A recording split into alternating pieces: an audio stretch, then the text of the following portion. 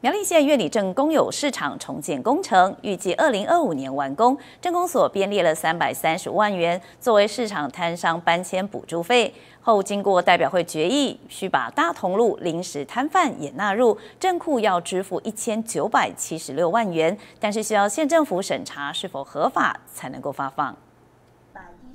兼顾历史建筑大楼新建，苗栗县苑里镇公有市场历经五年，好不容易取得地方共识，去年底动土重建，工程二零二五年完工。施工期间，针对原本市场内的摊商，镇公所编列搬迁补助费三百三十万元，但至今迟未发放。这个代表会可能认为，哎，这件事情是蛮呃需要严谨审慎的来对待，所以他们希望办法要变成自治条例哈，逐条的来做审议。所以我们后来呃也非常的要紧哈，赶快把这个办法哈修成自治条例。那也在去年的过年前啊，马上就来提一个临时会。那这个临时会哈，就是呃就是希望说可以顺利的来通过，因为之前我们的预算被冻结。法官原因在于代表会要求改以自治条例方式审查，并将补助对象从院里市场摊商扩大到大同路临时摊贩，